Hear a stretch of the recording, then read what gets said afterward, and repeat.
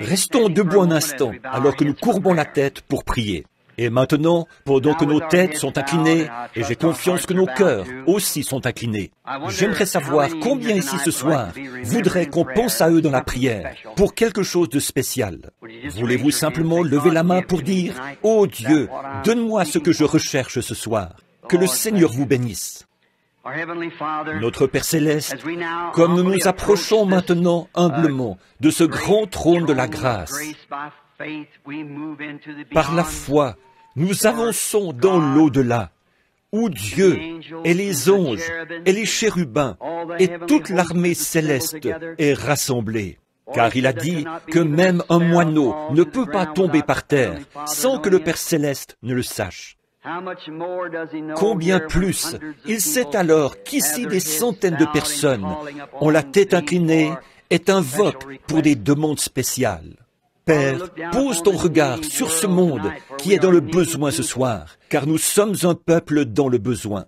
Et je prie, ô Dieu, que parce que nous nous sommes assemblés ici et que nous t'exprimons notre foi en un Dieu vivant qui exauce vraiment la prière, nous sommes sortis du monde des incirconcis de cœur et d'oreille sortis pour vivre une vie séparée et pour vivre en confessant notre foi en toi.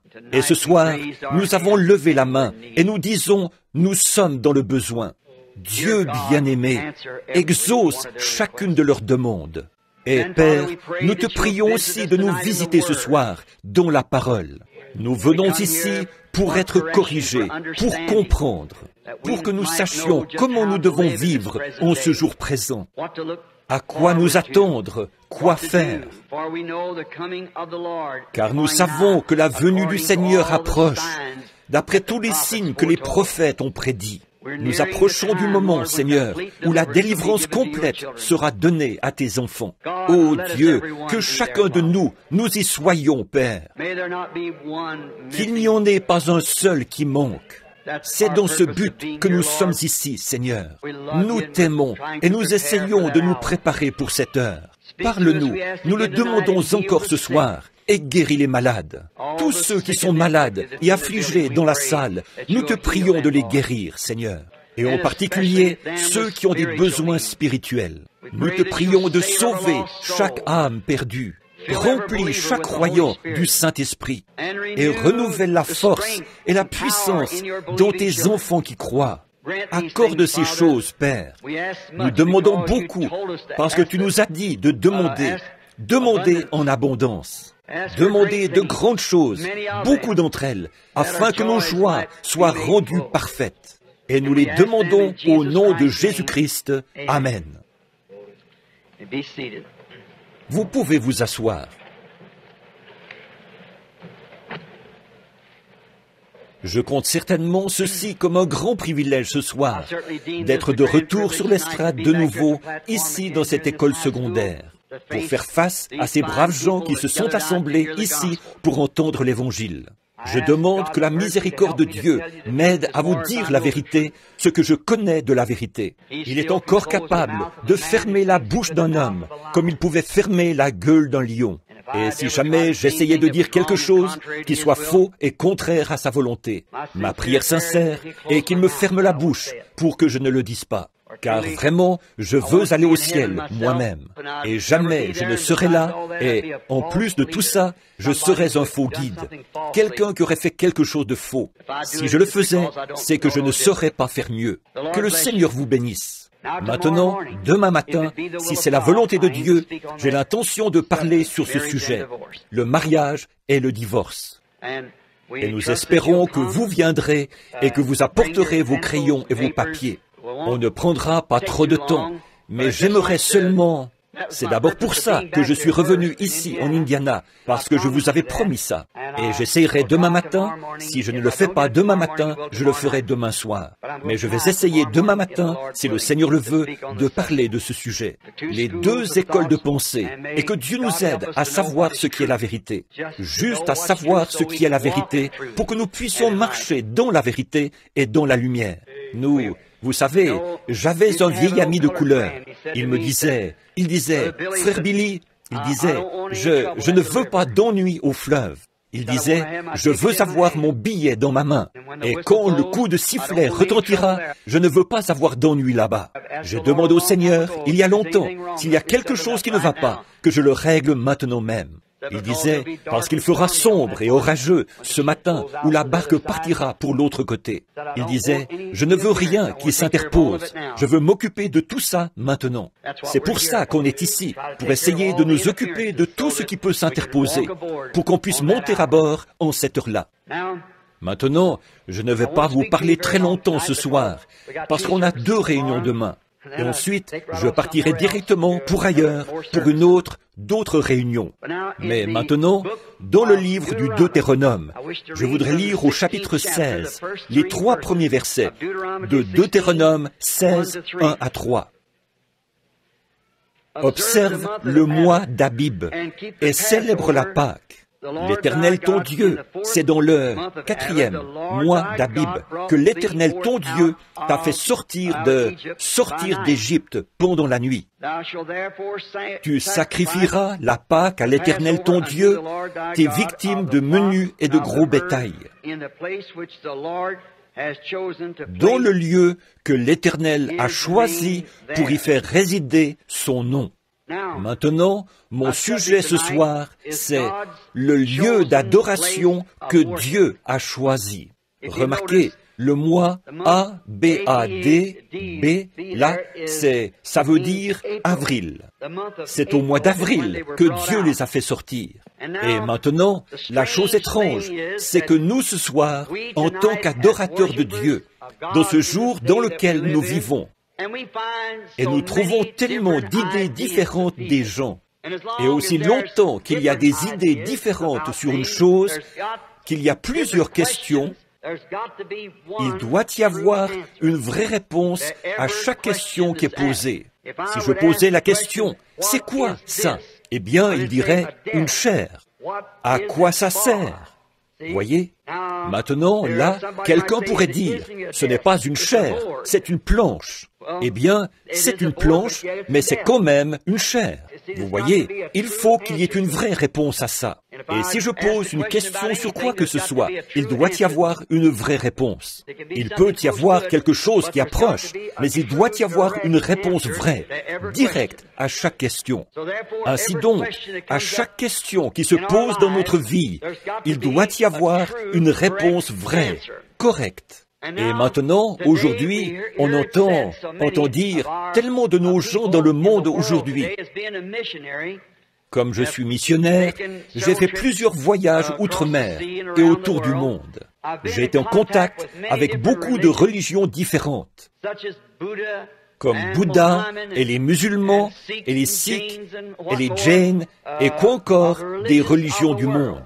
Et puis ici, chez nous aux États-Unis et d'autres pays étrangers, de rencontrer toutes nos différentes églises, comme nos églises dénominationnelles, en commençant par la catholique romaine primitive, et ensuite la grecque, et ainsi de suite, et les, différents rites, et ensuite jusqu'aux tous les âges dénominationnels, de 900 et quelques dénominations protestantes. Maintenant, chacune d'entre elles, bien sûr, on peut voir leur idée, et je ne peux pas le leur reprocher.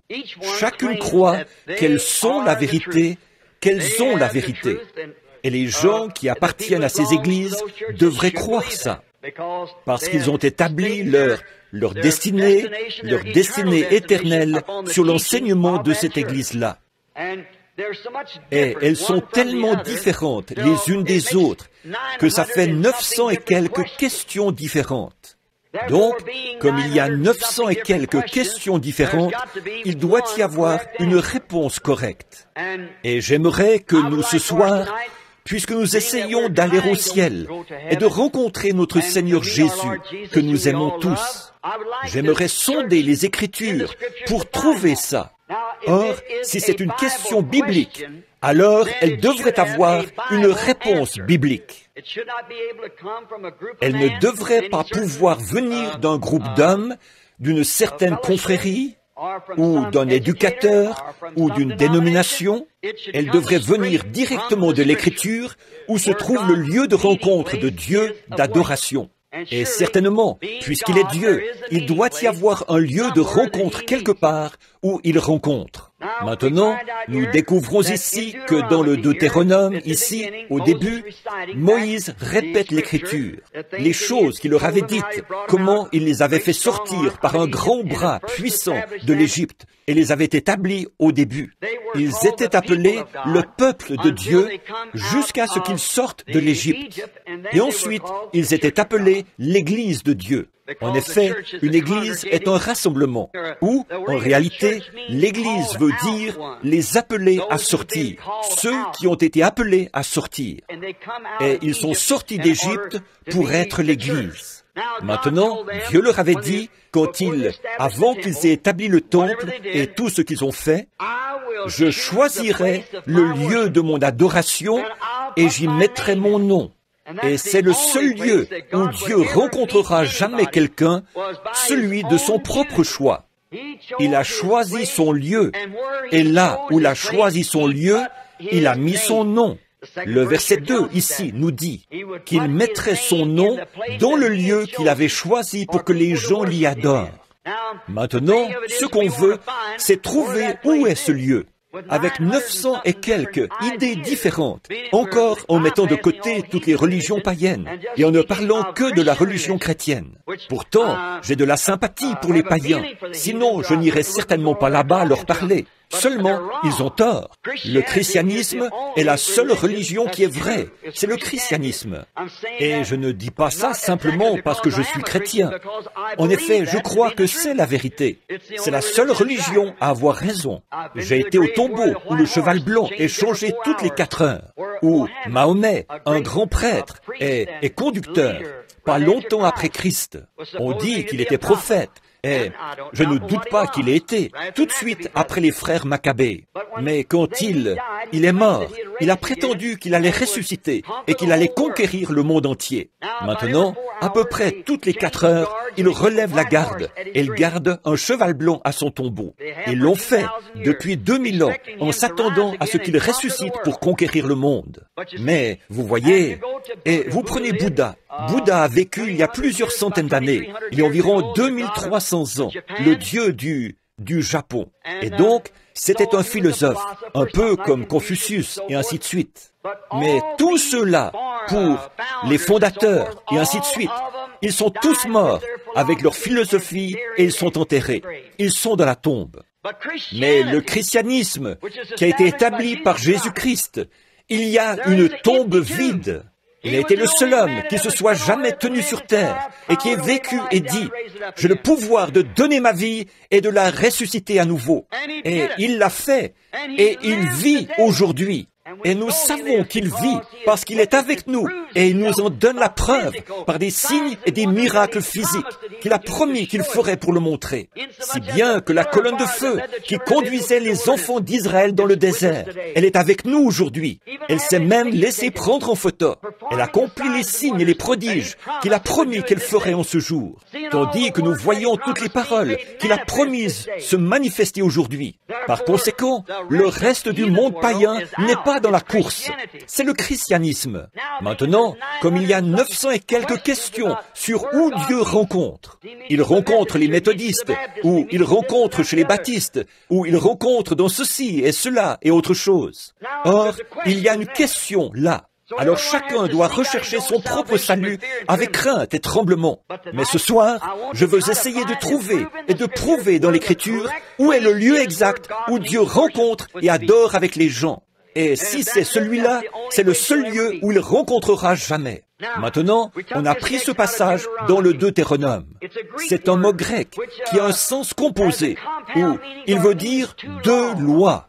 Le mot grec Deutéronome veut dire deux lois différentes. Et c'est exactement ce que Dieu a, deux lois différentes. Et l'une d'elles est une loi de mort et l'autre est une loi de vie. Dieu a deux lois. Le suivre et le servir et l'adorer, c'est la vie. Rejeter ça, c'est la mort. Il y a deux lois en Dieu. Maintenant, l'une de ces lois a été dévoilée au monde au mont Sinaï. Dieu a donné la loi à Moïse et à Israël. Non pas que la loi ait pu les aider, mais la loi leur montrait seulement qu'ils étaient des pécheurs. Avant ça, ils ne savaient pas ce que c'était que le péché avant d'avoir une loi. Il ne peut pas y avoir de loi sans sanction. Une loi sans sanction n'est pas une loi. Ainsi donc, transgresser la loi, c'est le péché. Et le salaire du péché, c'est la mort. Ainsi donc, avant que Dieu leur ait donné une loi, aucune transgression ne leur était imputée. S'il n'y a pas une loi ici qui dit qu'on n'a pas le droit de rouler à plus de 32 km à l'heure, alors vous pouvez rouler à plus de 32 km à l'heure.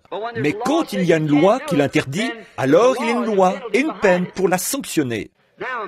Maintenant, la mort, la loi de la mort, c'était les commandements donnés sur le mont Sinaï qui montraient à l'homme qu'il était pécheur. Et s'il transgressait la loi de Dieu, il mourrait. Mais il n'y a pas de salut dans la loi. Là, c'était seulement un gendarme qui pouvait vous mettre en prison. Elle n'avait rien pour vous en faire sortir. Mais il a aussi donné une autre loi. C'était au mont du Calvaire, où le péché a été imputé à Jésus-Christ. Et là, la peine a été acquittée. Et pas avec, sans la loi, mais c'est par la grâce que vous êtes sauvés. Par la grâce de Dieu, par prédestination, en ce que Dieu vous connaissait d'avance. Maintenant, nous voyons ces deux lois dans le Deutéronome, où il est question de deux lois il y avait deux lois. L'une était la loi de la mort et l'autre la loi de la vie. Il y avait aussi deux alliances qui ont été données au peuple. Nous en parlerons demain matin. L'une a été donnée à Adam avec une condition. Si tu fais ceci et que tu ne fais pas cela, mais cette loi a été violée. Adam et Ève l'ont violée dans le jardin d'Éden. Alors Dieu a établi la seconde alliance et l'a donnée à Abraham. Et cette loi-là était sans condition. Ce n'est pas ce que tu as fait ou ce que tu feras. Il a dit, moi, je l'ai déjà fait. Ça, c'est la grâce. Ça, c'est la loi de la vie. Dieu l'a fait pour Abraham et pour sa semence après lui, c'est-à-dire toute la semence d'Abraham. Comme la Bible dit, tout Israël sera sauvé. Mais ça ne veut pas dire les Juifs. Comme Paul disait, ceux qui sont Israël intérieurement ou Israël au dehors. Au dehors, comme on en a parlé l'autre soir, c'étaient les enfants d'Isaac par le sexe.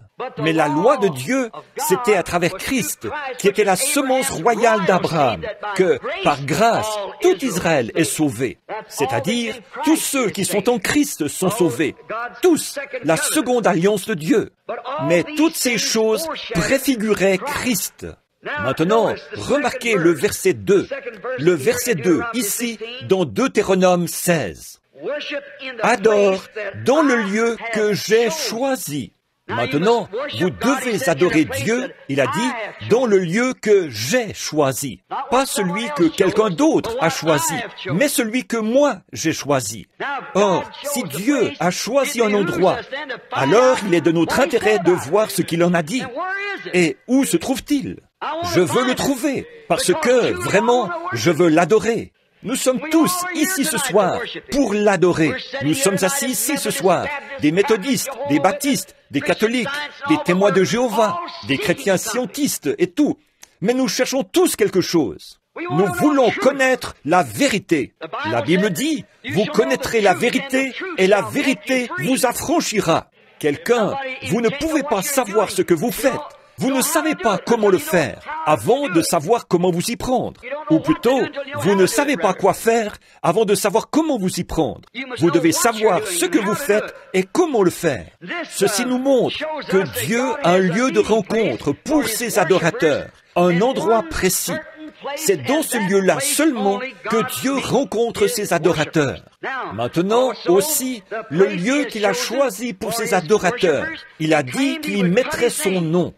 Maintenant, parcourons l'Écriture pour trouver où est ce lieu.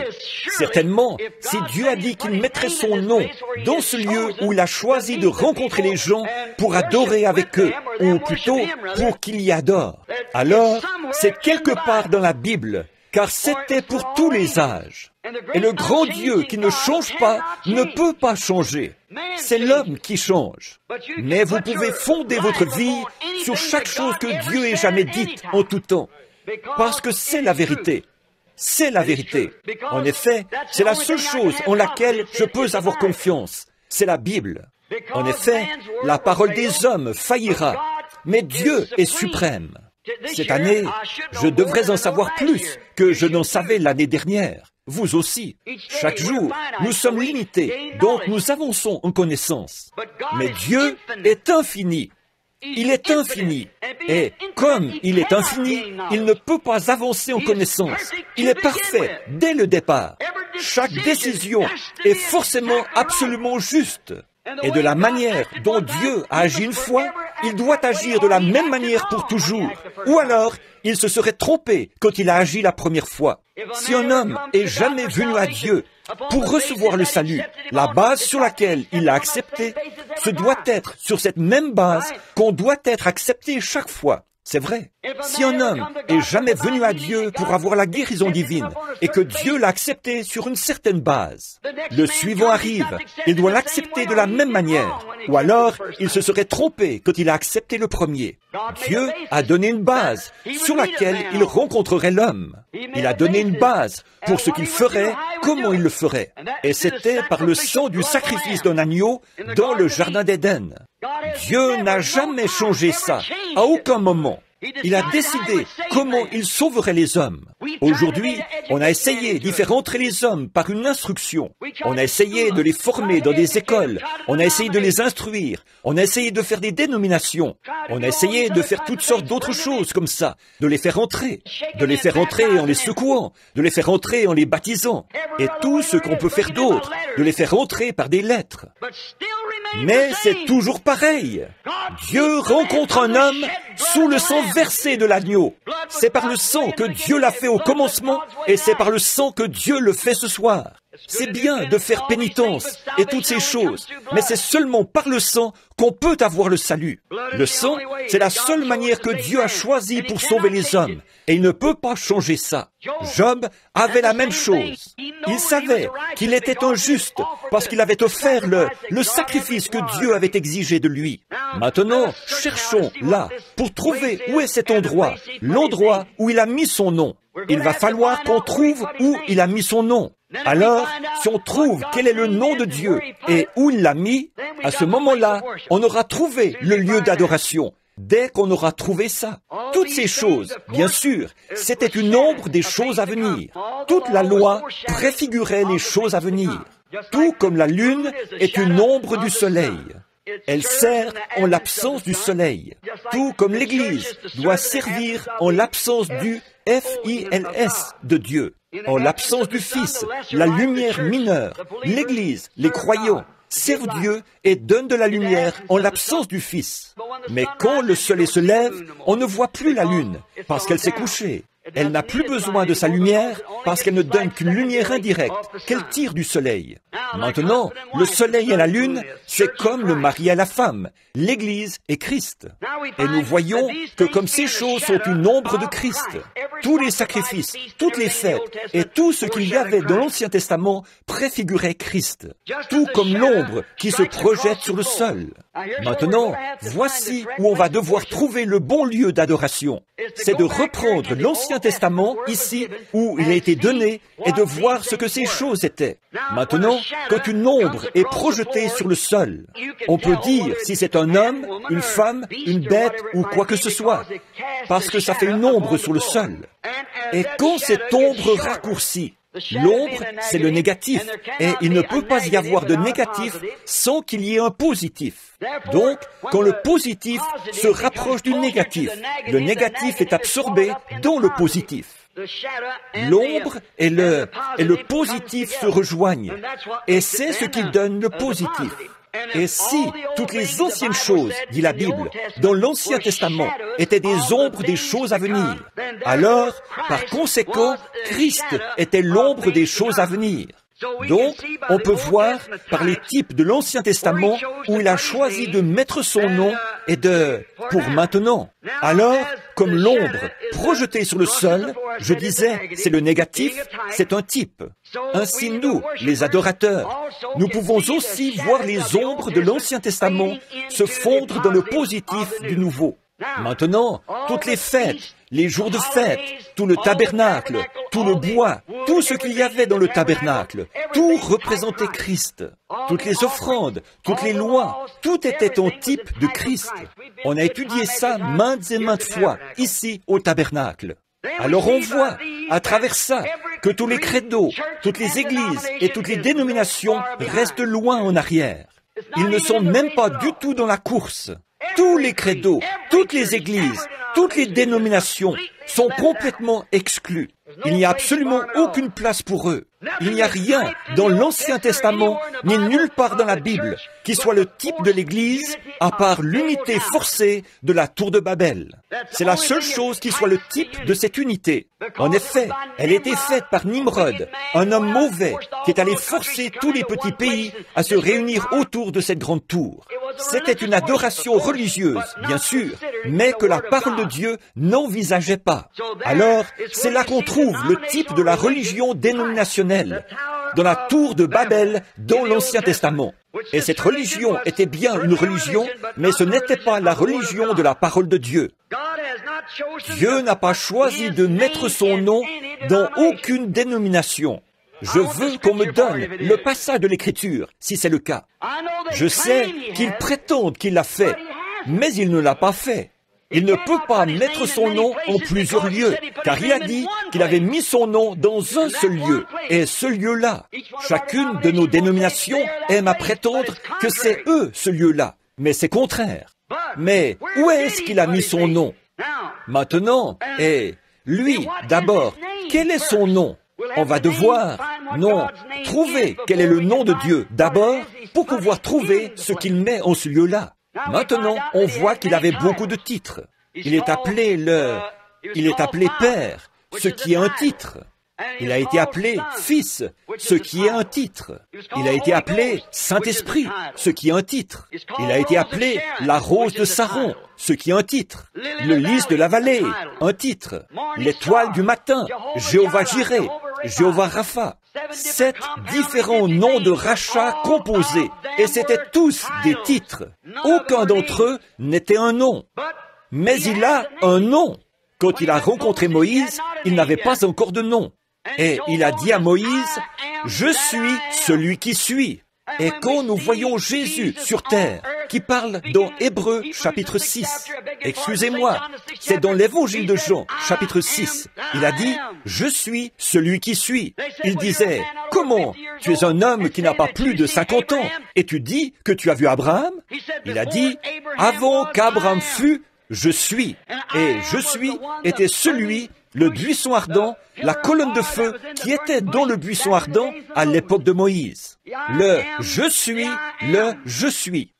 Et là, on voit que Jésus a dit aussi, je suis venu au nom de mon Père et vous ne m'avez point reçu. Donc, le nom du Père doit être Jésus. C'est vrai. Le nom du Père, c'est Jésus. Parce que Jésus l'a dit, je porte le nom de mon Père. Je viens au nom de mon Père et vous ne m'avez pas reçu. Donc, son nom, c'était Jésus. Et Gabriel l'a appelé Jésus. Les prophètes l'ont appelé Jésus. Et il était absolument Jésus. Avant sa naissance, le saint prophète lui a même donné le nom d'Emmanuel ce qui veut dire Dieu avec nous.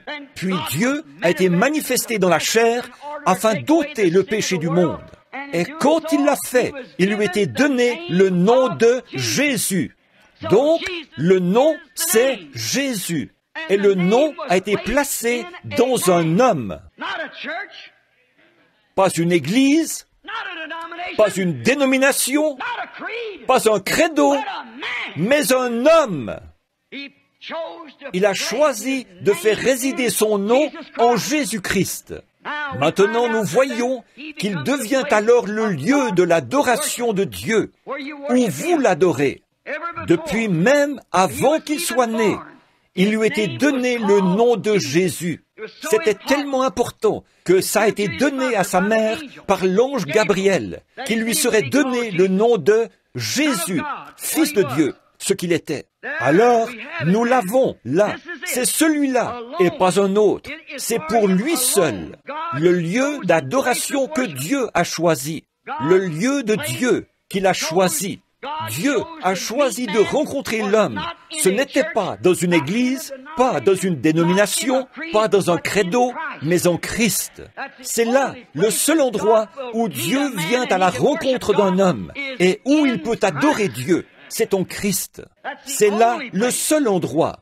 Peu importe que vous soyez méthodiste, baptiste, catholique, protestant, quoi que vous soyez, il n'y a qu'un seul endroit où vous pouvez adorer Dieu comme il faut, c'est en Christ.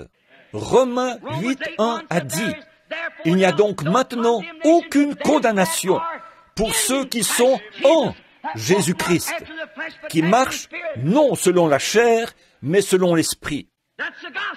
C'est l'évangile. Nous pouvons être en désaccord sur des credos. Nous pouvons être en désaccord sur des théories humaines. Vous pouvez aller à une église méthodiste. Vous devez être méthodiste. Une baptiste, baptiste. Une catholique, catholique. Mais une fois que vous êtes baptisé en Christ et que vous êtes devenu un membre de son corps, il n'y a plus de différence. Les murs de séparation sont renversés et vous êtes libre parce que vous êtes en Jésus-Christ. Et vous adorez Dieu en esprit et en vérité quand vous êtes en Jésus-Christ. Le plan de Dieu, c'est que vous l'adoriez en Jésus-Christ. Maintenant, aucune dénomination d'Église ne peut prétendre ceci. Personne ne peut prétendre cela. Comment osez-vous prétendre de telles choses? Faire une telle chose serait d'un esprit antichrist. Ce serait enlever à Christ, lui retrancher quelque chose. Vous ne pouvez pas faire ça. Christ est le seul lieu où Dieu rencontre les adorateurs. Ils disent aujourd'hui, il y a des gens qui m'ont dit, il n'y a pas longtemps, un homme appelé à Beaumont au Texas. Il disait, Monsieur Branham, si votre nom n'est pas sur le registre de notre Église, vous ne pouvez pas aller au ciel. Pouvez-vous imaginer ça? N'allez jamais croire une chose pareille. Ils pensent que vous devez appartenir à une certaine Église, là. Sinon, vous ne pouvez pas aller au ciel. C'est faux. Croire ça, c'est antichrist. Je dirais ceci, si vous croyez un tel esprit, vous êtes perdu. C'est une bonne preuve que vous êtes perdu, parce que c'est enlevé de ce que Dieu a fait. Dieu n'a jamais mis son nom dans aucune église. Il l'a mis dans son Fils, Jésus-Christ, quand lui et son Fils sont devenus un. C'est là le véritable lieu d'adoration. Il n'y a pas d'autre fondement de poser, pas d'autre rocher. Sur Christ, le rocher solide, je me tiens. Tout autre sol est du sable mouvant. Les dénominations vont s'effondrer et tomber. Les nations auront une fin, mais lui demeurera toujours. Pas d'autre lieu qu'un homme puisse trouver pour adorer Dieu, où Dieu lui répondra. Pas d'autre lieu qu'en Jésus-Christ. C'est le seul lieu, le seul lieu où Dieu ait choisi de mettre son nom, et c'est le seul lieu où il rencontre l'homme pour l'adoration. Vous êtes perdus à croire quoi que ce soit d'autre. Remarquez, les sept fêtes juives étaient toutes célébrées dans le même lieu. Ils n'ont jamais célébré une fête ici pour les méthodistes et une par ici pour les baptistes. Une par là-bas pour les presbytériens, une par ici pour les catholiques et une pour les protestants. Les sept fêtes étaient toutes célébrées dans le même lieu. C'est un très beau type ici. On vient d'étudier les sept âges de l'Église pour montrer que Dieu garde tous les sept âges de l'Église dans la parole. Parce que chaque âge de l'Église a produit une partie de la parole. Et quand il la produisait, et il voyait la lumière. Tout comme les premiers qui ont découvert qu'on devait baptiser au nom de Jésus. Qu'est-ce qu'ils ont fait? Ils en ont fait une dénomination et elle est morte aussitôt. Alors Dieu est tout de suite passé à quelqu'un d'autre. Il ne reste pas dans un de ses credos et de ses dogmes. Il n'a rien à faire avec ça. Il n'y a rien de perverti en Dieu. La parole de Dieu est sainte, sans mélange. Christ est le point central d'adoration de Dieu. Il est Dieu. Les sept fêtes devaient toutes être célébrées dans ce même lieu. On ne pouvait pas célébrer la fête ailleurs, mais ces sept lieux, ces sept fêtes de l'année devaient être célébrées en un même lieu. C'est pourquoi les sept âges de l'Église devaient venir d'un seul et même lieu.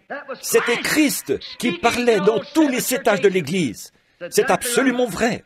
Un type des sept âges de l'Église. Mais ils en ont fait des dénominations. Maintenant, examinons un autre type pendant qu'on y est. C'est le type de la Pâque qui préfigurait Jésus. Ici, on remarque le sacrifice du sang par la mort. Le sacrifice du sang c'était l'endroit qui préfigurait Christ. Est-ce qu'une dénomination aurait pu saigner? Est-ce que vous pouvez imaginer qu'une église saigne, qu'une dénomination saigne Bien sûr que non. Il fallait du sang, qu'une vie saigne. Et la vie, ici Jésus apparaît dans l'agneau.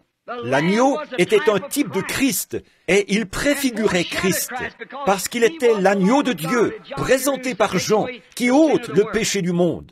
Nous voyons Jésus qui apparaît ici dans Exode chapitre 12. Remarquez, c'était le seul lieu que la mort ne pouvait pas frapper. Quand la mort était sur le point de frapper le pays, il devait y avoir un lieu précis.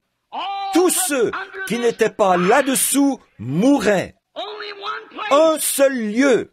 Maintenant, ça ne voulait pas dire que c'était une seule maison, mais il y avait un seul lieu. C'est là que l'agneau était tué. Là où il y avait le sang de l'agneau, l'ange de la mort ne pouvait pas frapper, parce que c'était le seul lieu où Dieu avait mis son nom.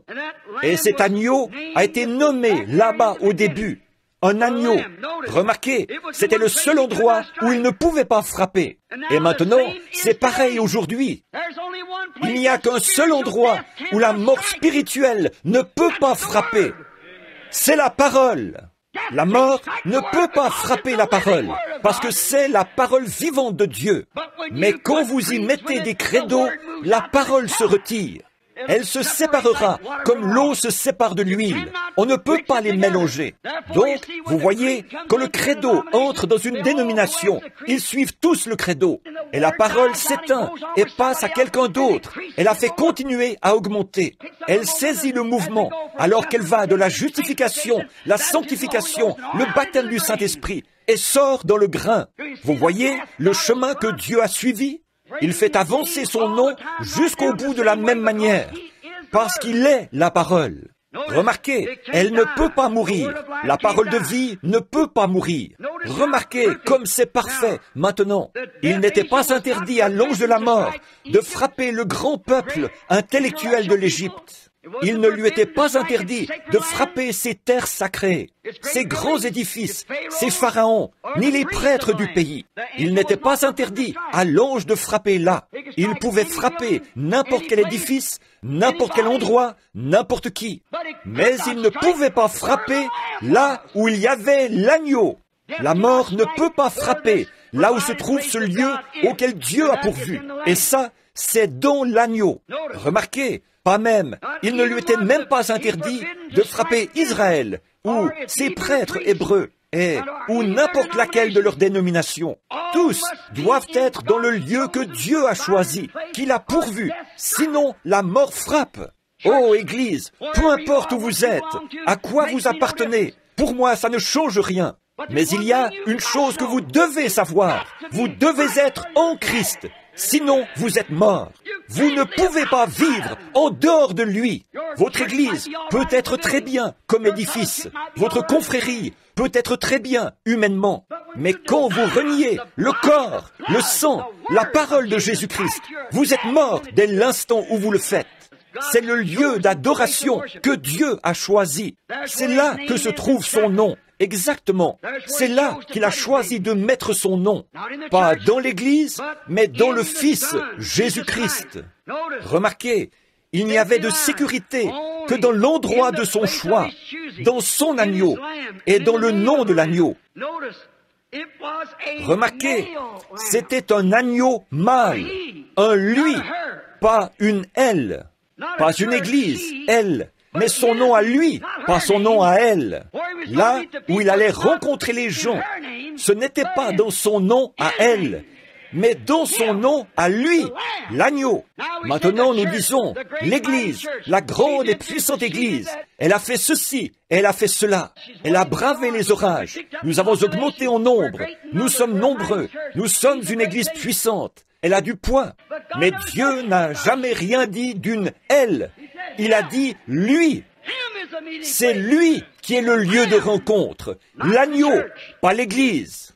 Pas son nom à elle, mais son nom à lui. Il n'a pas mis son nom à elle nulle part. Il a mis son nom à lui en lui. C'est pourquoi tout ce que nous devons faire, ou parole, ou acte, nous devons le faire au nom de Jésus-Christ. Si nous prions, nous devons prier au nom de Jésus. Si nous demandons quelque chose, nous devons le demander au nom de Jésus. Si nous marchons, nous marchons au nom de Jésus. Si nous parlons, nous parlons au nom de Jésus. Si nous baptisons, nous devons baptiser au nom de Jésus-Christ car tout ce que nous faisons en parole ou en acte, faites-le au nom de Jésus-Christ. Une fois, un homme discutait de ça avec moi et il me disait, Frère Branham, ma femme, je ne... Il disait, elle, son nom est une telle. C'est un prédicateur. Il est peut-être assis ici maintenant. Et il disait, ma femme, il disait, elle porte mon nom. Je vais dire Jones, parce que ce n'était pas Jones. Il disait, eh bien, elle n'est pas obligée de se lever chaque matin, de prendre le balai et de dire, maintenant je passe le balai au nom de Jones et je fais la vaisselle au nom de Jones, et je raccommode les habits au nom de Jones. Il disait, je crois qu'il n'y a pas besoin de citer de nom du tout. J'ai dit, je crois qu'il faut le faire. C'est vrai. Et il a dit, eh bien, elle n'a pas besoin de dire, tout ce qu'elle fait, c'est au nom de Jones, dès le départ. Je dis, mais vous n'avez pas pu passer dans la rue, la prendre et lui dire, viens avec moi, Jones. Il a fallu qu'elle devienne d'abord, par une cérémonie, une cérémonie de mariage, une Jones. Sinon, vous vivez dans l'adultère. Et si vous êtes baptisé de n'importe quelle autre manière que dans le nom de Jésus-Christ, c'est un baptême adultère qui ne se trouve pas dans la Bible. Ensuite, tout ce que vous faites, en parole ou en acte, faites-le au nom de Jésus. Après ça, ce que vous faites. Mais vous devez d'abord prendre son nom. Il y a beaucoup de braves femmes dans cette salle ce soir. Des femmes honnêtes, respectables. Mais il n'y a qu'une Madame William Branham. C'est elle qui rentre à la maison avec moi. C'est elle qui est ma femme. Il y a des braves gens dans le monde, de bonnes églises, mais il n'y a qu'une Madame Jésus-Christ. Et c'est elle qu'il vient chercher. C'est là que se trouve son nom. C'est là que se trouve son adoration. En elle et en elle seule. C'est vrai. Oh, oui, monsieur, nous voyons que c'est vrai. Maintenant, c'est pourquoi nous, tout ce que nous faisons en parole ou en acte, nous le faisons au nom de Jésus-Christ. Il n'y a sous le ciel aucun autre nom qui ait été donné pour le salut en dehors du nom de Jésus-Christ. Dans Actes chapitre 2, il est dit, car sachez-le, il n'y a aucun autre nom qui ait été donné sous le ciel par lequel un homme doit être sauvé, seulement dans le nom de Jésus-Christ. Amen. J'espère que vous comprenez. Le nom de Jésus-Christ, tout, le plus haut des cieux, porte son nom. Toute la famille dans les cieux s'appelle Jésus, dit la Bible. Et toute la famille sur terre s'appelle Jésus. Alors voilà le nom que Dieu a choisi et où il l'a mis. C'est son lieu d'adoration en Jésus-Christ. Maintenant, nous savons qu'il en est ainsi. Pas d'autre lieu pour adorer qu'en lui. Il n'y a sous le ciel aucun autre nom qui ait été donné parmi les hommes par lequel ils doivent être sauvés. Son nom est le nom de rédemption de Dieu. Dieu porte le nom de Jéhovah Jireh, Jéhovah Rapha, Jéhovah Jireh. Le Seigneur pardonne tous tes péchés. Jéhovah Rapha, le Seigneur guérit toutes tes maladies. Il a eu beaucoup de titres, mais il a un seul nom de rédemption qui appartient à la race humaine. Et c'est le nom de Jésus. Voilà son nom qu'il a choisi de mettre. Où est-ce qu'il l'a mis? Il l'a mis en Christ. Tous les autres noms d'église, credo, titres, se confient en eux, c'est la mort. Si vous vous fiez à l'église méthodiste pour vous emmener au ciel, vous êtes perdu. Si vous vous fiez aux pentecôtistes, à l'église pentecôtiste, pour vous emmener au ciel, vous êtes perdu. Et l'Église baptiste, luthérienne, presbytérienne, catholique ou n'importe quelle autre, si vous vous fiez à leur nom ou à leur titre ou à leur credo, vous êtes perdus. En effet, vous ne pouvez même pas adorer avant d'être d'abord entré dans le lieu d'adoration. Amen. C'est là le seul lieu où Dieu rencontre l'adorateur. C'est le lieu où il a choisi de mettre son nom. Tous les autres, si vous vous confiez en eux, vous mourrez. Il a aussi une autre ombre de Jésus ici. J'ai noté ça. Le passage de l'Écriture. Là aussi, il, il est préfiguré ici. Il doit être sans défaut. L'endroit où il met son nom, cet agneau doit être sans défaut. Maintenant, à quelle dénomination ou système pouvez-vous attribuer ça? À quelle église Catholique, protestante, juive, quelle qu'elle soit À quel système, dénomination est-ce qu'on peut attribuer ça Être sans défaut? Tout ça, c'est rejeté et refusé. Mais il y a un lieu. Alléluia Ce lieu, c'est en Jésus-Christ. Lui, il est sans défaut. En lui, il n'y a aucune faute. Vous ne pouvez pas attribuer ça. Tous ces gens qui essayent de le faire, de dire que leur Église est sans faute et tout ça, ils sont souillés, désobéissant à la parole. Ils aiment, à moitié morts, l'Odysséen, un credo, mais ce n'est pas la vérité. Mais jusqu'à Pilate lui-même, son ennemi, il a dit, je ne peux rien trouver de coupable en lui. Son propre ennemi a témoigné de ce qu'il n'y avait rien de coupable en lui. Vous ne pouvez lui attribuer aucun péché. Il a dit aux prêtres de son temps, lequel d'entre vous peut m'accuser de péché Qui peut me montrer que je suis un pécheur Nommez-moi une seule église qui puisse dire qu'ils n'ont jamais rien fait de mal. Franchement, il n'y en a pas une seule, presque, qui n'ait pas commis des meurtres et fait tout ce qu'on peut trouver dans les annales ou presque. Et pourtant, il continue à prétendre être... Non, ce n'est pas le lieu de rencontre de Dieu pour l'adoration, dans aucun credo, ni dans aucune dénomination. Mes amis, je ne veux pas blesser, mais je suis responsable d'un message. Et ce message, c'est sortez de cette souillure. Et si je vous demande de sortir, où est-ce que je vais vous amener? Est-ce que je vous amènerai au Branham Tabernacle? Il est tout aussi fautif que n'importe lequel des autres. Mais il y a un endroit où je peux vous amener, où vous êtes en sécurité et protégé de la mort. C'est en Jésus-Christ. C'est le lieu d'adoration de Dieu. Voilà le lieu que je vous présente ce soir, là où Dieu a mis son nom, là où il a promis qu'il rencontrerait toute personne qui y entrerait, qu'il adorerait avec elle et festoierait avec elle. C'est en Christ. Pas dans une église, pas dans un tabernacle, mais en Christ. C'est lui le tabernacle de Dieu. C'est lui le lieu où Dieu est entré, lui-même, et en qui il a demeuré. Celui-ci est mon Fils bien-aimé, en qui je me plais à demeurer. C'est là que Dieu a établi sa demeure, qu'il a porté son nom et sur qui il l'a placé, Jésus-Christ. Donc, son nom a été mis dans un homme, son Fils, Jésus-Christ, en qui il a établi sa demeure. Et dans ce tabernacle-là, alors que, en type, l'ancienne Jérusalem, les anciennes fêtes, l'ancien temple, c'était un type. Quand la fumée est entrée, le jour où l'arche est entrée de l'alliance, et qu'elle s'est installée là, et la voix de Dieu s'est fait entendre de là. De même, la voix de Dieu s'est fait entendre en entrant dans le tabernacle, Jésus-Christ. En effet, l'ancien, le naturel, était un type et une ombre du nouveau. Et quand il est entré en Christ, il a dit, Celui-ci est mon Fils bien-aimé, en qui je me plais à demeurer, et je choisirai le lieu où je mettrai mon nom, et où je rencontrerai l'homme, et où j'adorerai.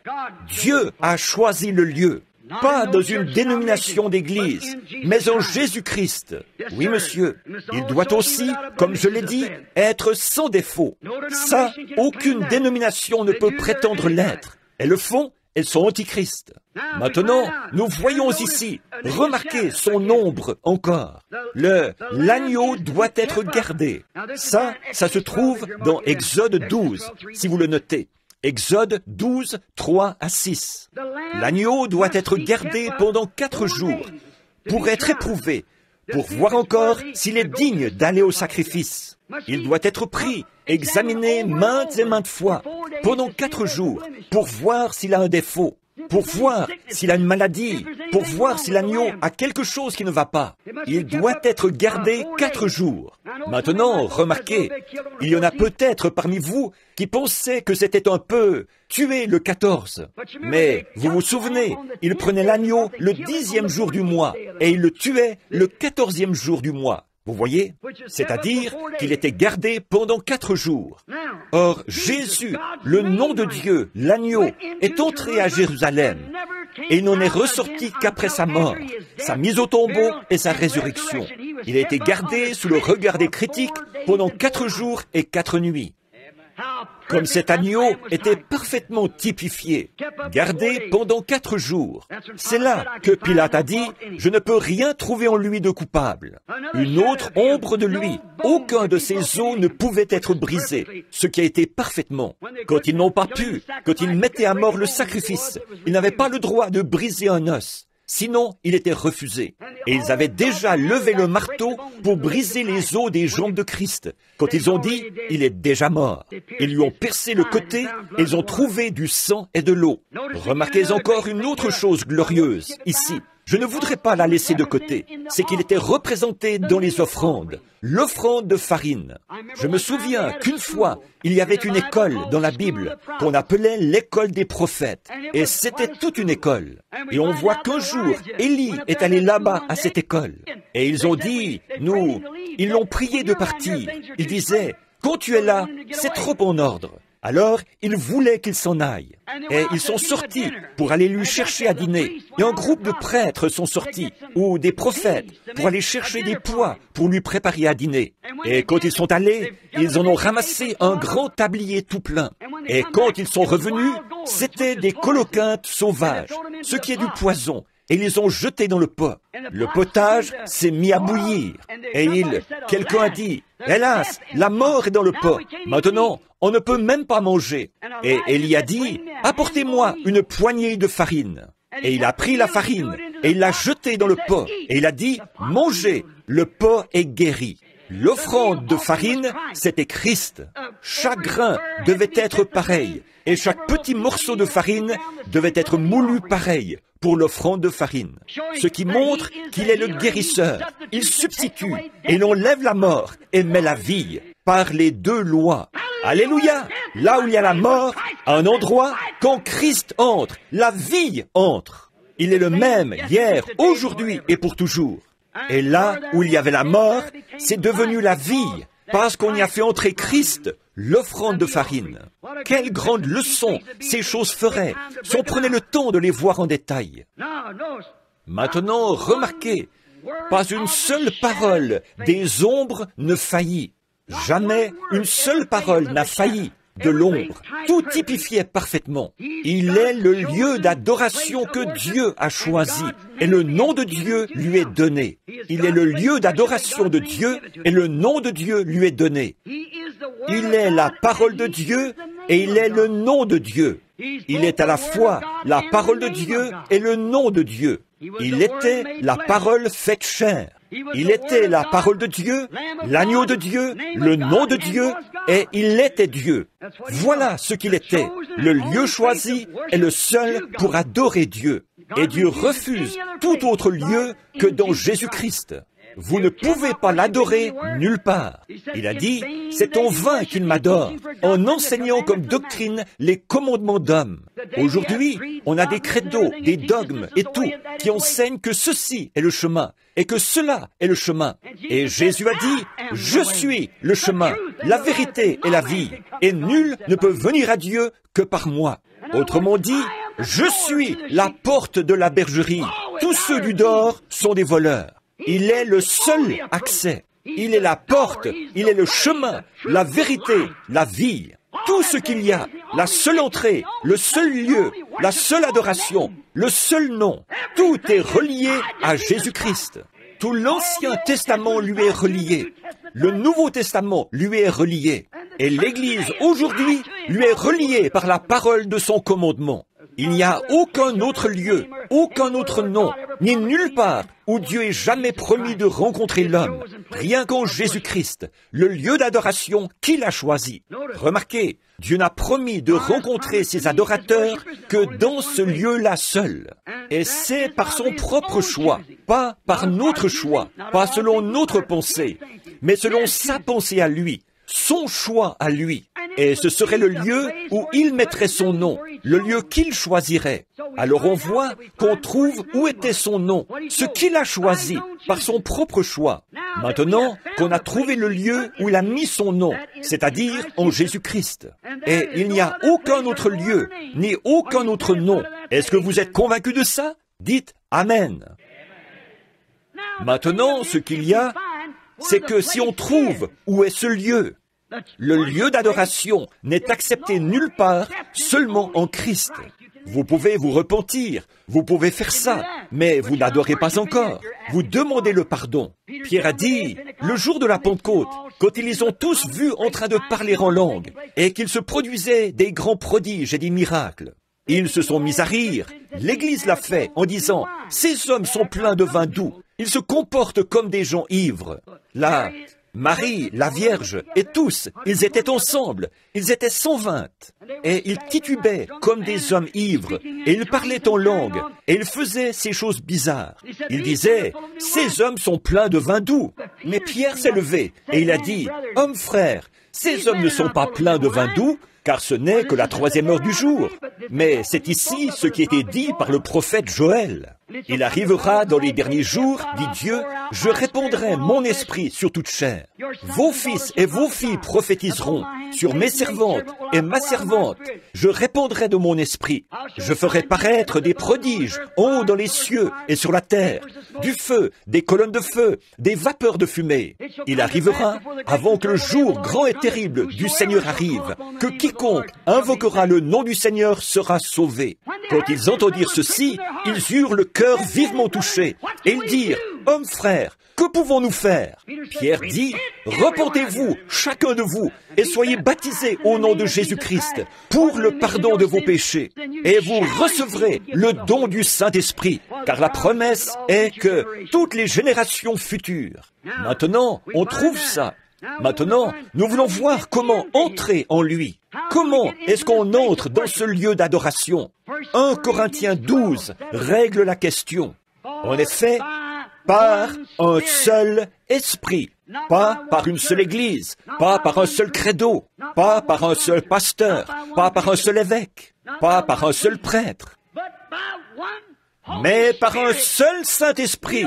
Nous sommes tous baptisés dans un seul corps qui est le corps de Jésus-Christ, est sujet à tous les dons qui se trouvent dans ce corps. Oui, monsieur, pas par une adhésion, pas en récitant des credos, pas en se faisant gonfler, en se laissant tomber, en serrant la main, ni rien d'autre. Mais c'est par naissance que nous sommes baptisés dans le corps de Jésus-Christ. Amen. Par un seul Saint-Esprit, nous sommes tous baptisés dans un seul corps. Et qu'est-ce que ce corps? Au commencement était la parole, et la parole était avec Dieu, et la parole était Dieu, et la parole a été faite chair, et elle a habité parmi nous. Comment pouvons-nous être dans ce corps? Et en nier une seule parole, ou la placer quelque part ailleurs, qu'elle ne soit même pas dans le corps. Comment est-ce que nous pourrions jamais faire ça? Le lieu choisi par Dieu. Remarquez, et quand vous êtes vraiment baptisé en lui, la vraie preuve, c'est que vous le croyez, lui, la parole. Comment pouvez-vous être une partie de lui et ensuite le renier? Comment est-ce que je peux nier que ma main, c'est ma main? S'il y a, si je fais ça, il y a quelque chose qui ne tourne pas rond chez moi mentalement. Et comment est-ce que je peux S'il y a quelque chose qui ne tourne pas rond chez moi, mentalement, parce que je nie que c'est ma main, que je nie que c'est mon pied, alors il y a quelque chose qui ne tourne pas rond, spirituellement, chez le croyant qui nie toute parole que Dieu a jamais dite et promise. Il y a quelque chose qui ne tourne pas rond, spirituellement, chez ce prétendu croyant. Vous ne pouvez pas nier une seule lettre de lui parce que vous en êtes devenu une partie. Vous êtes une partie de lui parce que vous êtes baptisé en lui par le Saint-Esprit Vous a fait entrer dans le corps de Jésus-Christ. Comme c'est beau Dieu avait un certain lieu où il rencontrait, il rencontrait Abraham. Et c'est là qu'Abraham adorait, tout le long du Testament. Et sa parole promise sera interprétée en vous par lui. Est-ce que vous avez saisi ça? La parole qu'il a promis d'accomplir dans le jour où vous vivez. Vous serez une épître écrite de Dieu, lue de tous les hommes. Non pas ce que vous prétendez, mais ce que Dieu fait à travers vous parlera plus fort que tout ce que vous pourriez prétendre. Dieu a dit, voici les signes qui accompagneront ceux qui auront cru. Ça parle à travers vous. Il a parlé de cet âge-ci, ce qu'il y aurait maintenant. Les croyants de cet âge-ci doivent croire ceci, ce qu'il a promis aujourd'hui. Tout comme ils devaient entrer dans l'arche pour être sauvés, sortir d'Égypte pour être sauvés. Ils doivent entrer en Christ pour être sauvés. Maintenant, entrer dans le message parole, qu'il est le même hier, aujourd'hui et pour toujours. Comment est-ce que vous y entrez? Par le baptême. Le baptême de quoi D'eau Par le Saint-Esprit. Un seul esprit. Nous sommes tous baptisés dans ce seul corps. Et sa parole promise. Il ne va pas. Vous n'aurez pas à l'interpréter. C'est lui qui l'interprétera à travers vous, ce que vous faites, ce qu'il a promis de faire. L'Église qui le suit sera tellement semblable à lui que les gens sauront. Regardez Pierre et Jean, quand on les a questionnés au sujet de ce qu'ils avaient guéri un homme à la porte appelée la Belle. Ils ont dit qu'ils ont vu les sacrificateurs là, ils ont vu que c'étaient des hommes du peuple sans instruction. Mais ils les ont reconnus pour avoir été avec Jésus. Parce que, quoi? Il faisait les choses que lui avait faites. Il devait s'occuper des affaires du Père. Et aujourd'hui, ça doit être pareil. Maintenant, souvenez-vous, il est le même hier, aujourd'hui et pour toujours. Car Dieu vous rencontre en lui, le seul lieu qu'il y ait. Car c'est là qu'il a choisi de mettre son nom, en Jésus. Jésus est le nom de Dieu. Souvenez-vous, Père, Fils, Saint-Esprit, ce sont des titres du nom Jésus-Christ. Quand Matthieu a dit, allez, faites de toutes les nations des disciples, les baptisant au nom du Père, du Fils et du Saint-Esprit, comme on l'a mal interprété aujourd'hui, en disant au nom du Père, nom du Fils, nom du Saint-Esprit. Ce n'est même pas écrit. C'est au nom, au singulier, du Père, Fils, Saint-Esprit. Père n'est pas un nom, Fils n'est pas un nom, Saint-Esprit n'est pas un nom, c'est un titre. Dix jours plus tard, Pierre s'est levé et il a dit, Repentez-vous, chacun de vous, et soyez baptisés au nom de Jésus-Christ. Alors, est-ce qu'il faisait ce qu'il lui avait dit de ne pas faire? Il a fait ce qu'il lui avait dit de faire. Le nom du Père, Fils et Saint-Esprit, c'est le Seigneur Jésus-Christ. Chaque personne dans le Nouveau Testament a été baptisée au nom du Seigneur Jésus-Christ. Pas une seule personne dans la Bible n'a jamais été baptisée dans les titres de Père, Fils, Saint-Esprit. Ça, c'est seulement apparu quand le credo de Nicée a été adopté à Nicée, Rome. Ça a été un ordre de l'Église catholique qui se trouvait. Ça, c'est confirmé dans le catéchisme. J'ai trouvé ça, c'est vrai, les réalités de notre foi, et ainsi de suite. Que c'est absolument un credo catholique romain. Ils vous diront que ce n'est pas dans la Bible, mais ils disent qu'ils ont le pouvoir de changer ces mots-là, s'ils le veulent, à cause du pape. Je ne suis pas d'accord. Jésus-Christ est le même hier, aujourd'hui et pour toujours. Et quiconque retranchera un mot de cette Bible, a dit Jésus, ou y ajoutera un mot, sa part sera retranchée du livre de vie. Un seul mot, pas une phrase ou un paragraphe, mais un mot. Quiconque retranchera un mot. Au commencement, Dieu a fortifié son peuple avec sa parole. Un seul mot, mal interprété, a provoqué toutes les morts, tous les cœurs brisés, toutes les peines. Ève, ce n'est pas à une phrase qu'elle a désobéi, c'est à un mot qu'elle a désobéi. Quand Jésus est venu au milieu du livre, ça, c'était le début du livre. Quand Jésus est venu au milieu du livre, qu'est-ce qu'il a dit? Il est écrit que l'homme ne vivra pas de pain seulement, mais de toute parole qui sort de la bouche de Dieu. À la fin du livre, Apocalypse chapitre 22, verset 18, la toute dernière partie de la Bible, Jésus lui-même parle. Il a dit, je rends témoignage que si quelqu'un retranche un seul mot de ce livre, ou y ajoute un seul mot, sa part sera retranchée du livre de vie. Parce qu'il est un faux prophète et qu'il a donné une fausse interprétation aux gens. Et leur sang sera redemandé de sa main pour avoir fait ça. Nous devons garder ce seul lieu d'adoration, c'est-à-dire Jésus-Christ la parole, le même hier, aujourd'hui et pour toujours. Amen. Très bien. Souvenez-vous, il n'y a aucun autre lieu de rencontre pour adorer, pas un endroit. C'est Dieu qui l'a choisi. Jean, là-bas, il y a bien longtemps, à la charnière entre le Nouveau et l'Ancien Testament. Écoutez bien maintenant. Soyez bien attentifs. Jean, ce grand aigle, est arrivé du désert en volant un jour. Ses grandes ailes étendues, il s'est posé sur la rive du Jourdain. Un grand prophète aigle qui faisait le pont entre l'Ancien et le Nouveau Testament. Et il les a appelés de la droite et de la gauche. Il convoquait un jour de repentance. Quand les pharisiens et les sadducéens sont sortis, il a dit, ne commencez pas à dire en vous-même, nous avons Abraham pour père, parce que je vous dis que de ces pierres, Dieu peut susciter des enfants à Abraham. Oh là là, quand il s'est mis à proclamer son évangile et qu'il disait, il y en a un parmi vous que vous ne connaissez pas. Je ne l'ai pas encore identifié, mais je le reconnaîtrai quand il viendra. Je ne suis pas digne de délier son soulier, mais il vous baptisera du Saint-Esprit et de feu. Et il a son vent à la main. Il nettoiera complètement son air. Il brûlera la paille dans un feu qui ne s'éteint point. Ce grand aigle de l'Évangile était là. Et il croissait ses grandes menaces. Et la souillure est sortie, où Hérode, l'empereur de ce temps-là, le proclamateur, qui avait épousé la femme de son frère.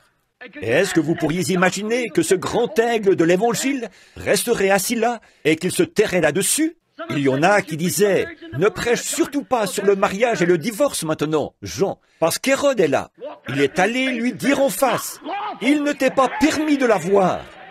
C'est ça. Qu'est-ce qu'il... C'était... Il était cet aigle venu du désert.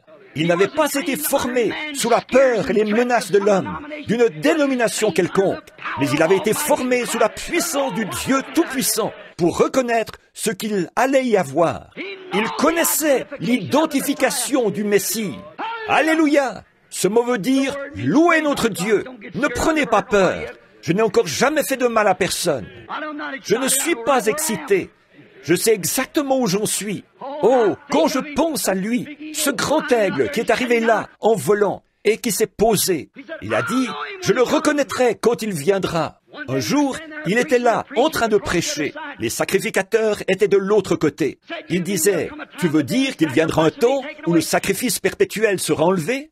Ce grand temple qu'on a construit et tout le travail qu'on a fourni, nous, la grande dénomination?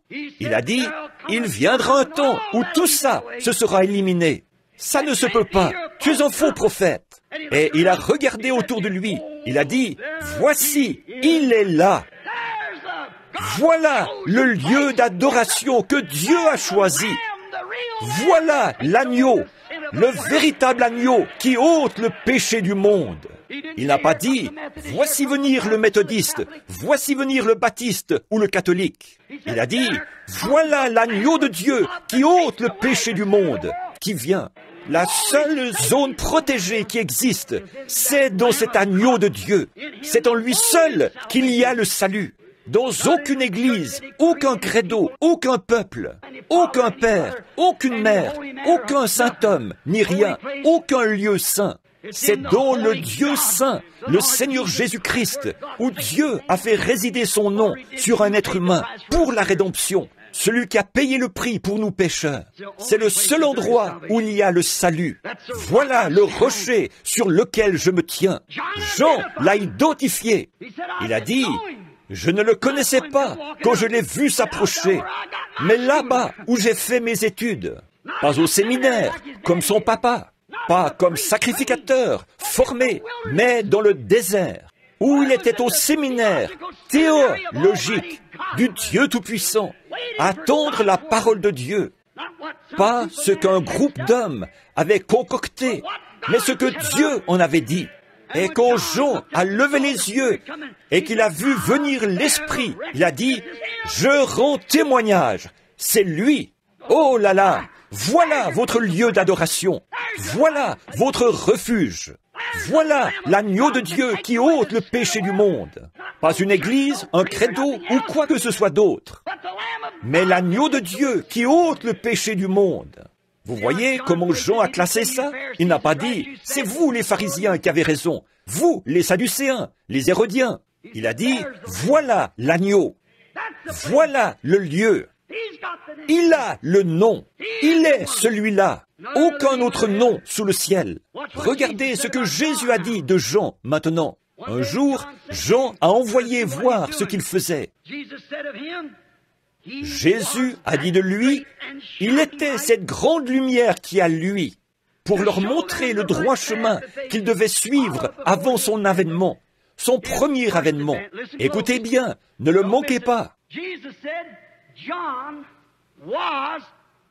Jésus a dit, Jean était cette lumière. Malachie 3, pas d'erreur. Le prophète, avec la grande lumière qui lui a identifié Jésus comme étant le seul, l'agneau, tous les autres agneaux dont parlaient ces sacrificateurs, et toutes ces autres choses, ça n'avait aucun sens. L'agneau était là, l'homme avec la grande lumière qui luisait, dont Jésus a dit qu'il l'était.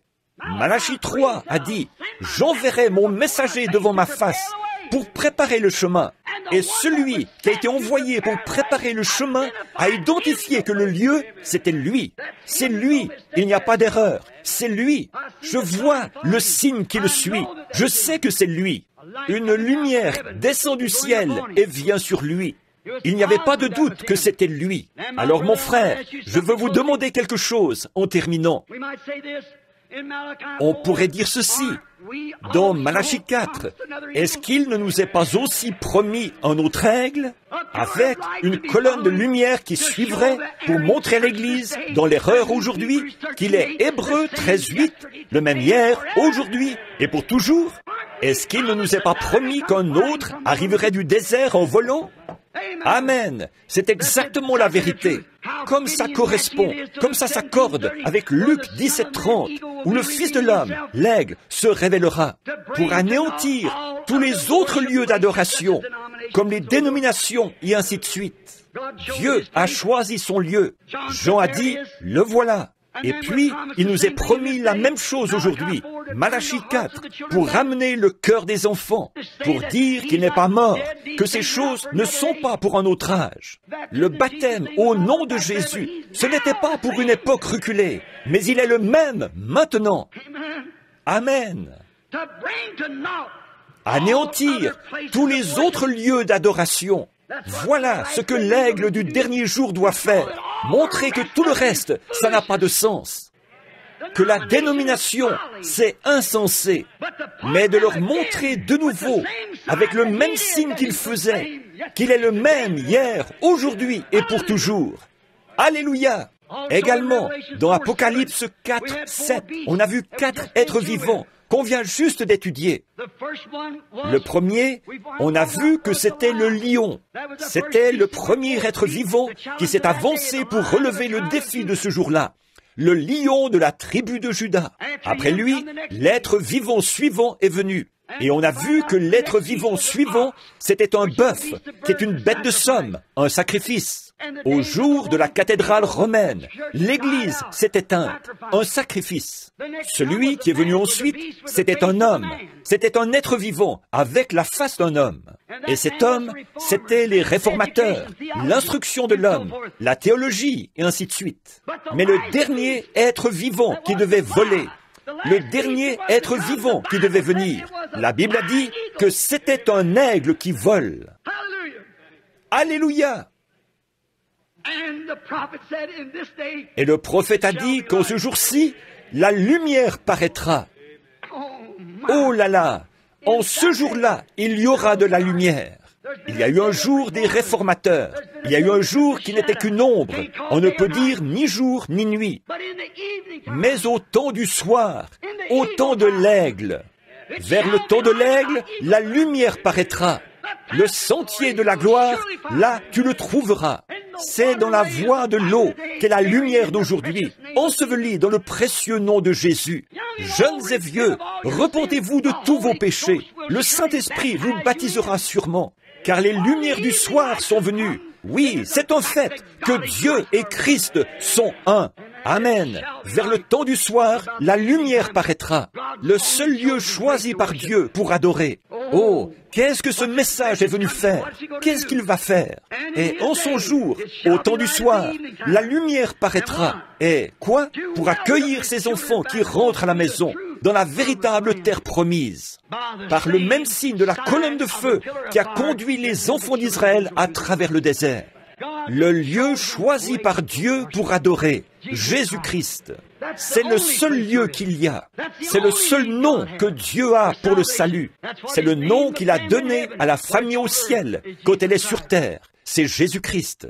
Ô Église, ô peuple, amis pécheurs, ne vous confiez en rien d'autre qu'en Jésus-Christ. Ne vous confiez en aucun prédicateur. Ne vous confiez en personne d'autre pour vous sauver. Ne vous confiez dans aucune église, aucun credo, aucune dénomination. Confiez-vous seulement en Jésus-Christ, car il est la lumière de l'heure. Courbons la tête.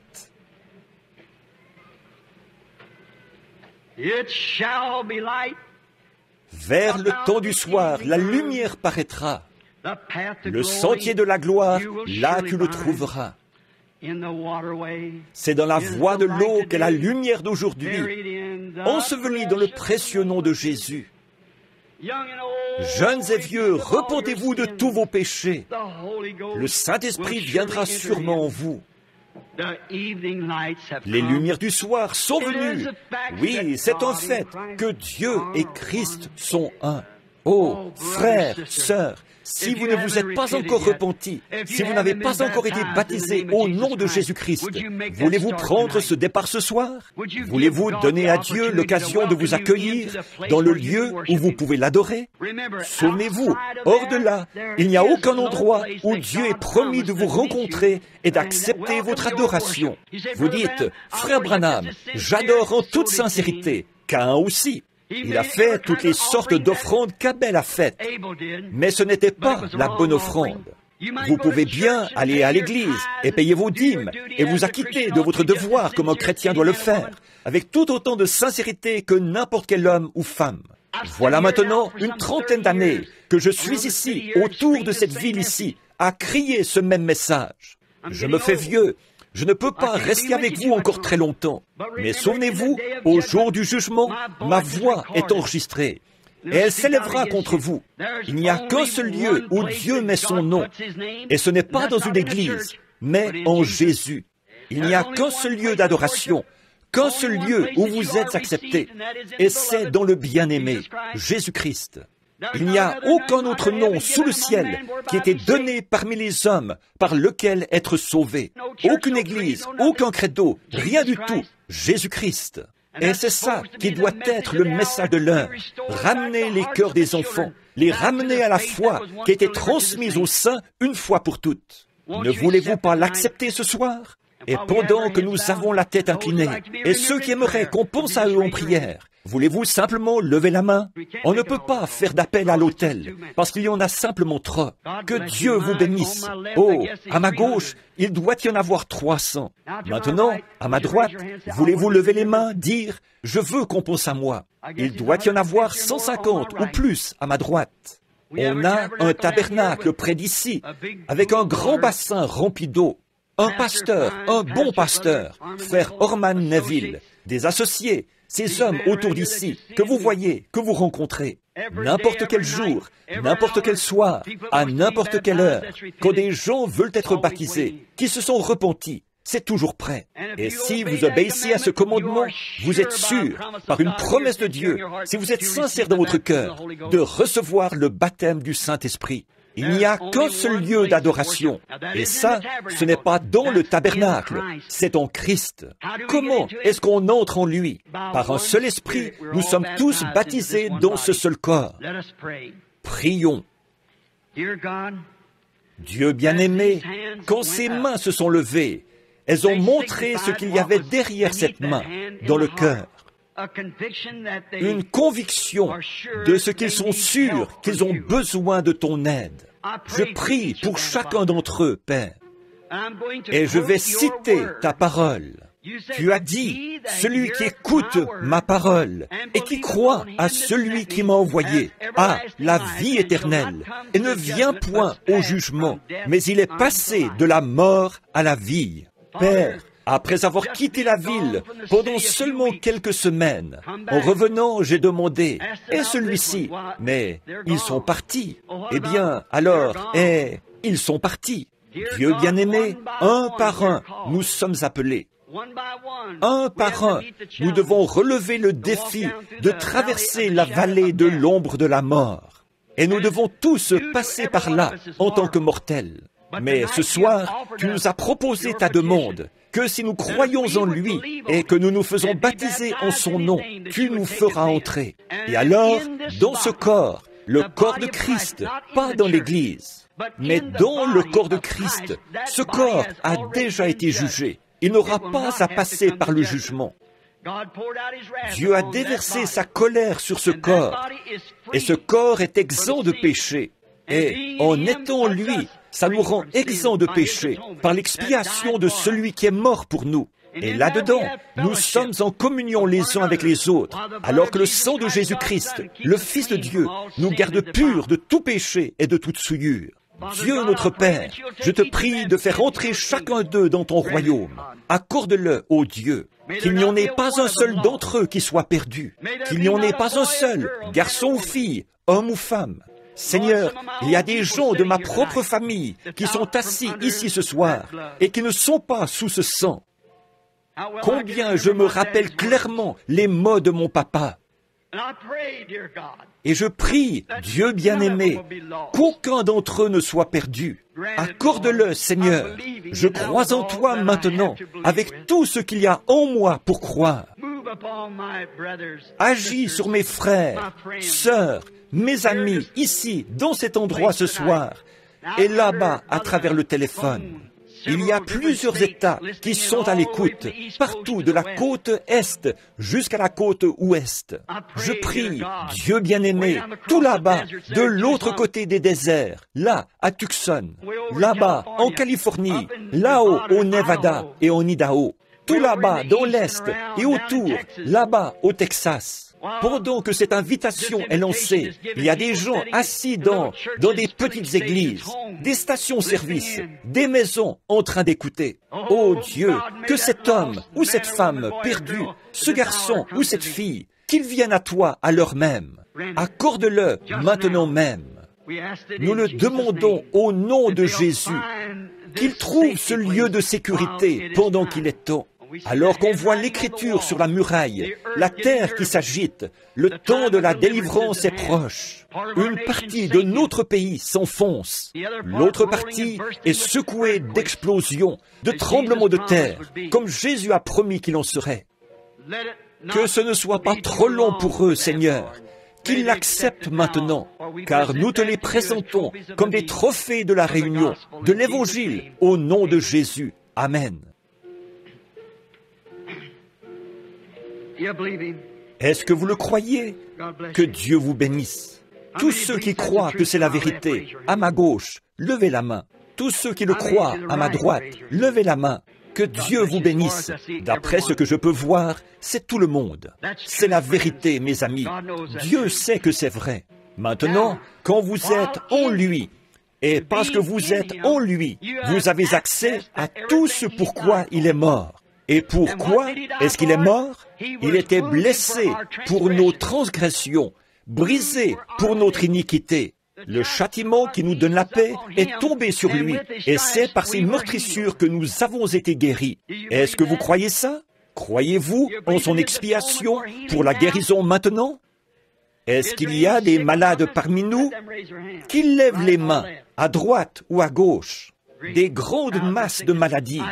Je ne peux pas former la ligne. Vous voyez, je n'ai pas... Impossible de monter sur l'estrade. Il n'y a aucun moyen de le faire. Ils font des réunions de prière là-bas, aux autres endroits, pour les malades, dans les églises et tout, et au tabernacle. Je vais vous demander quelque chose. Combien est-ce qu'il y a de croyants? Levez la main. Très bien. Je vais vous citer la parole, qui est Christ, la dernière commission que Jésus a donnée au monde, et à l'Église, plutôt. Voici ce qu'il a dit. Voici les signes qui accompagneront ceux qui auront cru. S'ils imposent les mains malades, ceux-ci seront guéris. Tous ceux qui savent que c'est vrai, Marc 16, dites Amen. Très bien. Je vous demande, en tant que croyant, d'imposer les mains à quelqu'un qui se trouve devant vous. Imposez simplement les mains à quelqu'un qui est devant vous. Et prions tous une prière les uns pour les autres maintenant. Mettez les mains sur quelqu'un près de vous.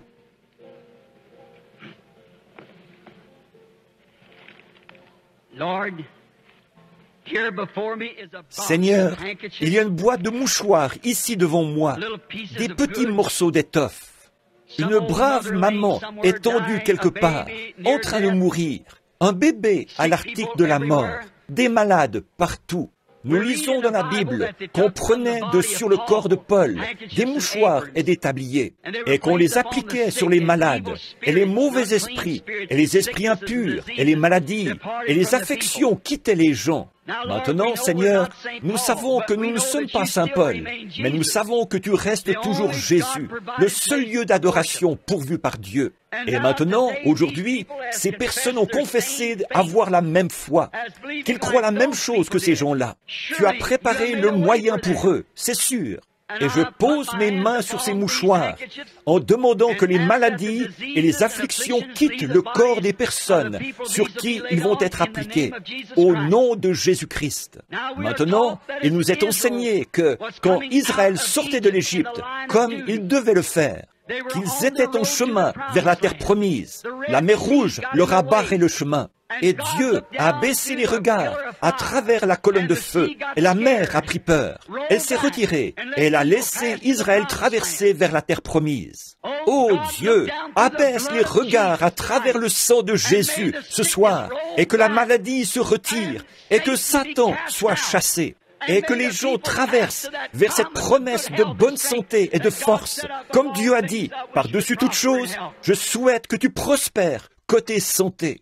Maintenant, alors que tu vois là, Seigneur Jésus, les mains de ces personnes imposées les uns sur les autres, elles symbolisent leur foi en ce que tu as dit. Voici les miracles qui accompagneront ceux qui auront cru. Ils prient à leur manière à eux, les uns pour les autres. Leurs voisins prient pour eux.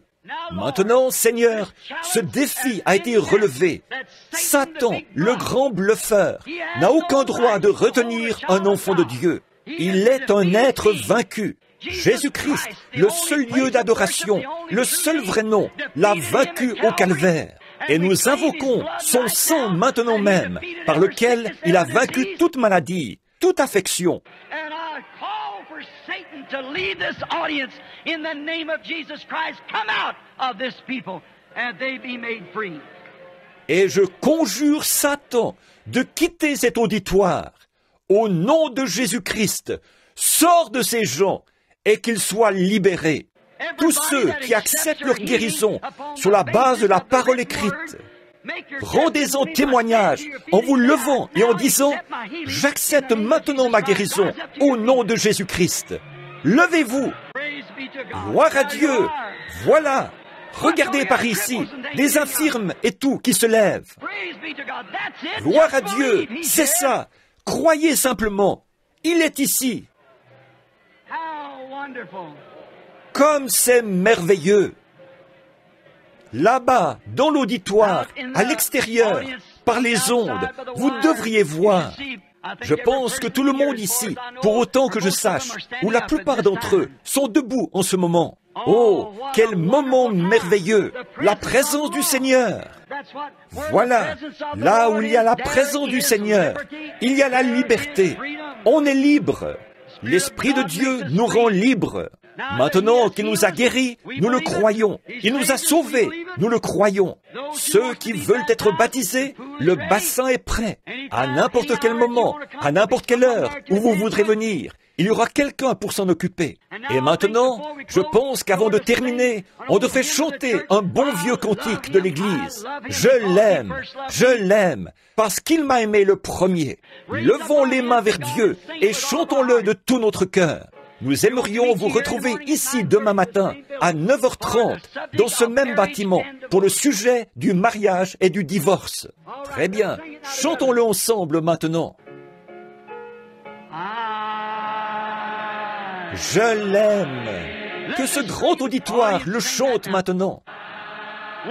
Là-bas, par les ondes, chantez-le aussi.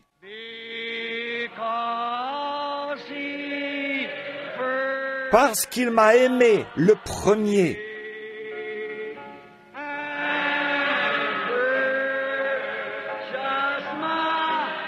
Et a acquis mon salut?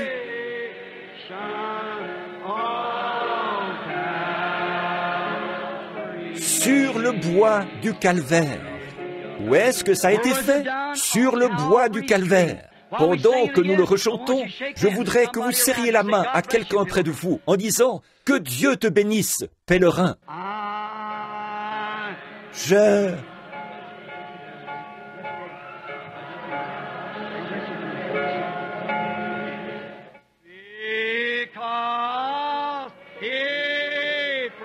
Parce qu'il m'a aimé.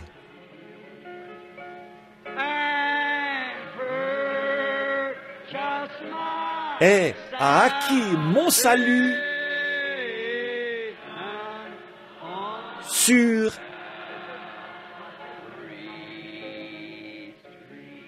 Oh, vous l'aimez, n'est-ce pas? N'est-il pas merveilleux? Est-ce qu'il est votre refuge? Il est un rocher dans un pays aride, un abri à l'heure de la tempête, le seul refuge que je connaisse. C'est pourquoi ma foi regarde à toi, toi, agneau du calvaire, sauveur divin. Écoute ma prière, enlève toute ma culpabilité, que je sois dès ce jour entier à toi. Levons les mains en le chantant.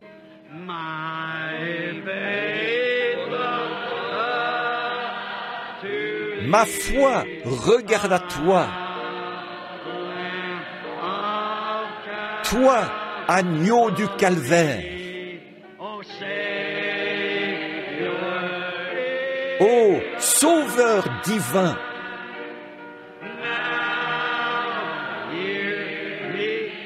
écoute ma prière.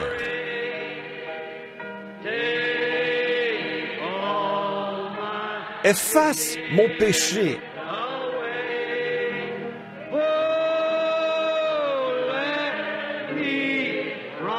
Que je sois dès ce jour entier à toi. Courbons la tête maintenant pendant que nous le fredonnons.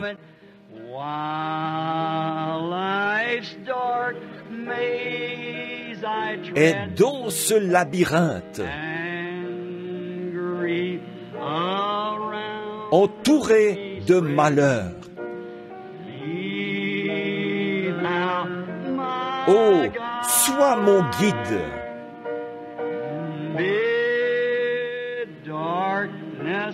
Disperse ces ténèbres.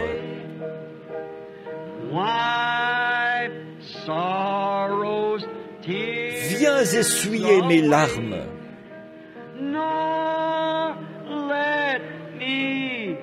Que jamais, loin de toi,